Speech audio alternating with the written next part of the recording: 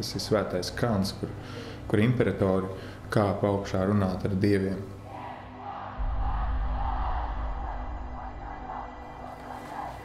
Tā ir kaut kāda jauna kombinācija, jauna veida būves tipoloģija. Tāds īsti nav bijis. Tas ir amfiteātris lidošanai. Man liekas, ka šitais ir labs pagrieziens.